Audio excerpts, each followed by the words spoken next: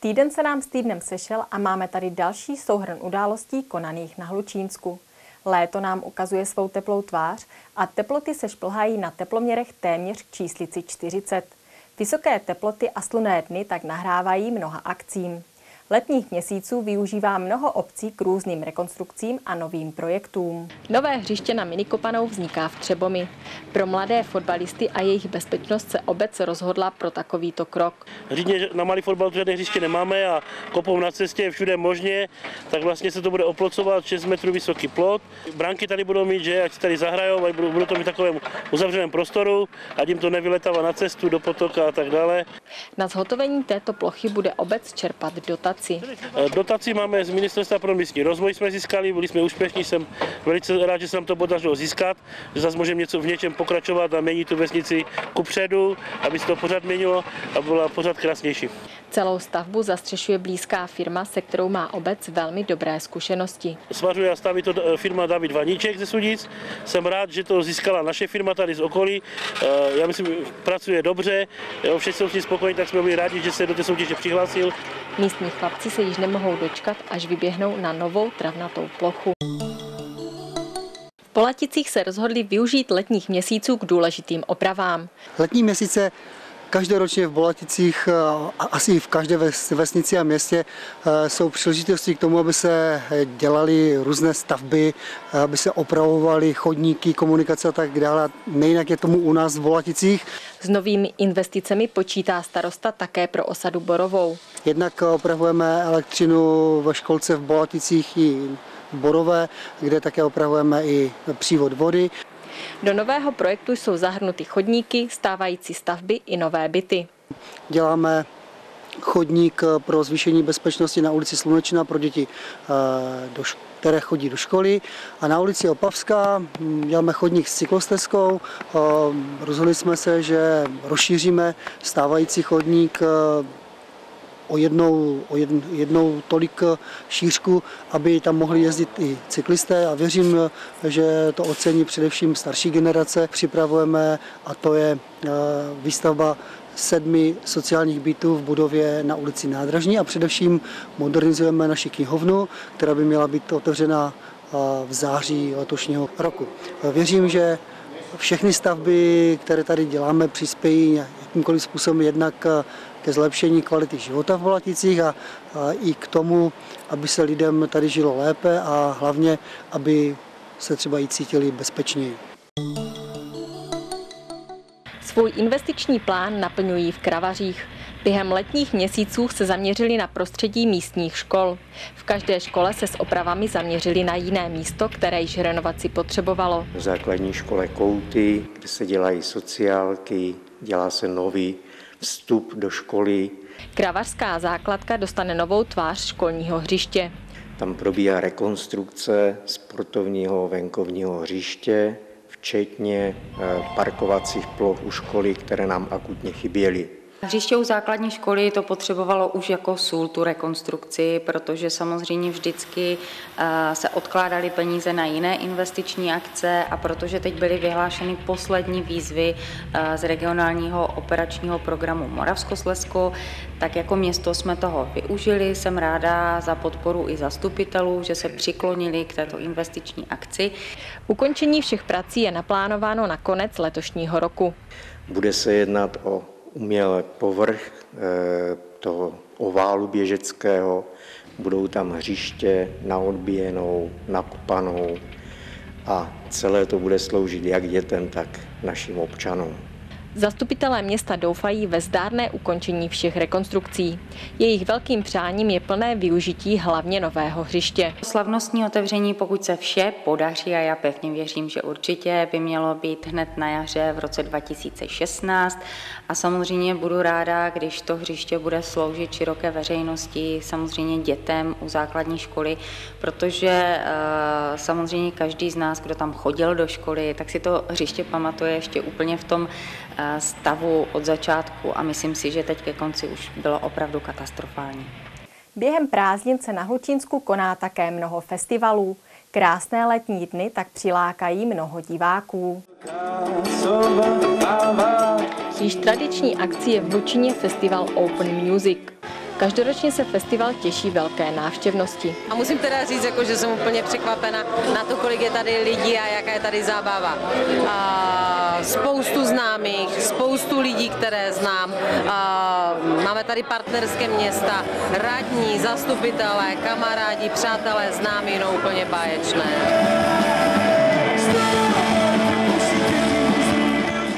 Ani letošní ročník nesklamal a počet 3000 návštěvníků nebyl konečný. Na připravené stage se vystřídalo mnoho pozvaných kapel.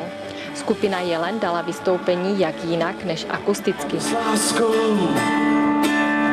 moje srdce ztratit. Zabil jsem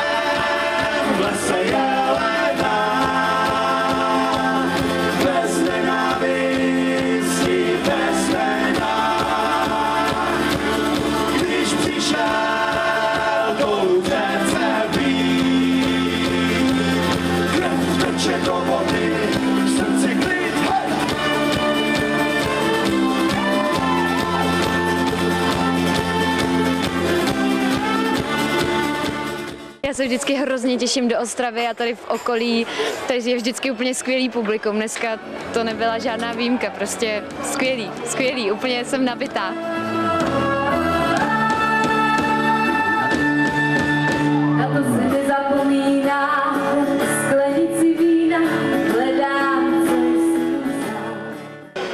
Dneska úplně úžasný. Bylo to úplně úžasný. Jsme hrozně překvapený, milé, bylo to úplně paráda.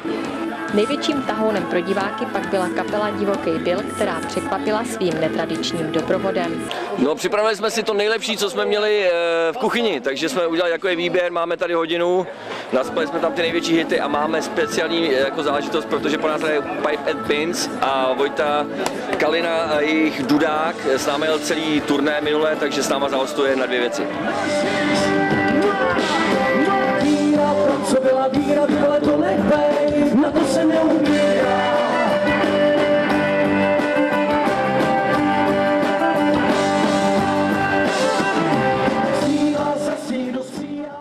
Zdravím Hlučínskou televizi, divoký byl, parádní Mejdan u vás. Všichni účinkující byli nadšení prostředím i pohodovou atmosférou.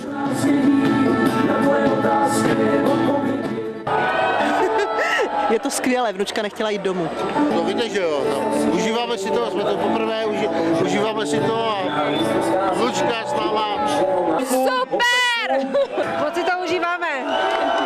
Atmosféra perfektní, jo, super, můžu jenom chválit. Děkuji tady Romanovi, že mi zajistil lísky. Je to velmi krásné, řekl bych.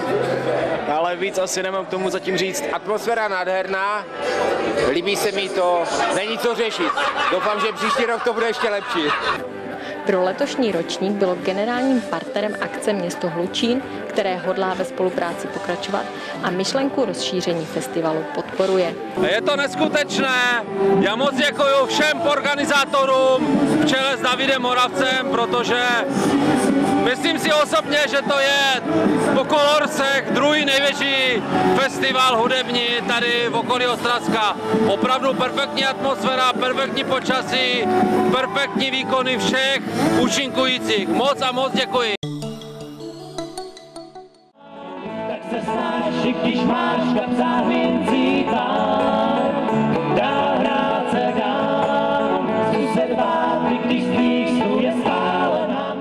Bolatické křemínky není potřeba v našich končinách představovat. Letos už 15. ročník country festivalu Bolatické křemenky, přehlídka country, folk, eh, bluegrassových a tramských kapel. Na místním pódiu vystoupili nejen kapely, ale i taneční soubor. Z areálu se také ozývalo řání koní a práskání bičem.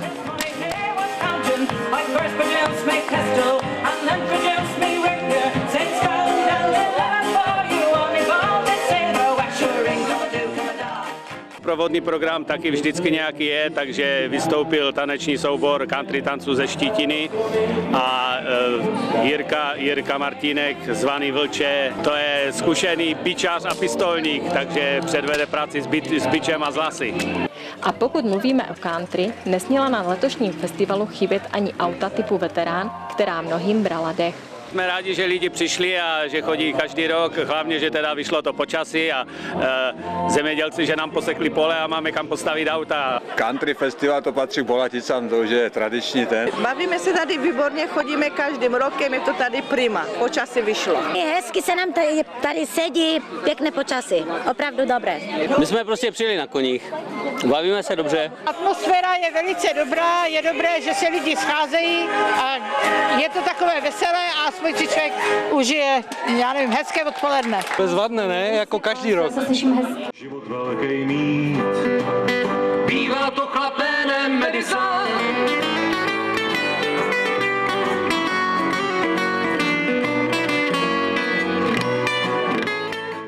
Poděkovat musíme především sami sobě, ale je to myslivecké združení, které se této akce ujalo. Samozřejmě kapela Karavana zajišťuje dramaturgii a kapely a v neposlední řadě samozřejmě chceme poděkovat obecnímu úřadu za podporu. Letošní, jako i každý jiný ročník, se těšil velké návštěvnosti. O prázdninách nezahálí ani sportovci. Místní kluby slaví výročí a organizují zajímavé zápasy. Ve Strahovicích proběhla velká víkendová slavnost. Celá akce byla věnována místnímu sportovnímu klubu, který zde působí již dlouhá léta. Příležitostí 84. výročí založení sportovního klubu SK Meteor Strahovice pořádáme tradiční sportovní slavnost, která začala v pátek utkaním starých gard Strahovic proti Kobeřicím. Nasledoval potom karneval se skupinou Drive a The Rock.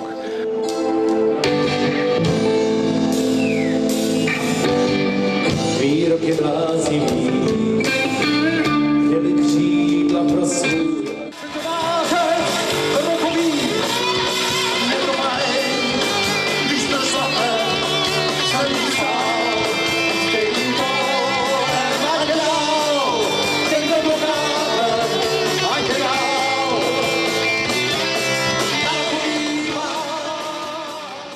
Sobota byla věnována mladým fotbalovým nadějím. Den byl v takovém, řeknu, dětském duchu, kdy hlavní, hlavní část toho, té sportovní slavnosti byl turnaj mini přípravy, kdy tady byly čtyři družstva úplně těch nejmenších, čtyři družstva těch starších a řekl bych, že akce se velmi podařila. To tady Štěpankovice, Strahovice, Koberice a Rohov. Samozřejmě mladší i starší přípravka. Součástí toho turnaje bylo, eh, byla soutěž v takových fotbalových dovednostech. Probíhá žonglování o ceny Františka Strnický staršího, byl to bývalý člen a trenér mládeže. Máme to také vložené vložené u toho turnaje mládežnického, kdy ten turnaj hrajou manšafty ročníku 2005 a 2007. Z okolností domácím klukům se podařilo zvítězit v těch, v těchto dovednostních soutěžích. O stavební Janík nám sponzoroval Kamil Hluchník a sami maminky napekli medaile a, a myslím, že se nám to povedlo. Počasí je pěkné a kluci... Slavnost vrcholí tady slavnostní mši svatou, kterou už tady pátým rokem pořádáme a následně bude utkání dorostu. SK Meteor Strahovice si pro svého faráře, který se se svými ovečkami touto mší loučil, připravili netypický dar na rozloučenou. Mše bude mít takový i e, jiný ráz, protože e, náš pan farář, otec David Kantor, končí, takže v tom fotbalovém prostředí by se řekl, že přestupuje do jiného klubu, takže se s ním budeme i tady touto mši loučit. Souhrn tohoto týdne je za námi. Pokud vám má nabídka nestačila, navštivte naše stránky www.hlucinsko.tv. Pro dnešek se s vámi rozloučím. Přeji vám pohodové letní dny a brzy naviděnou.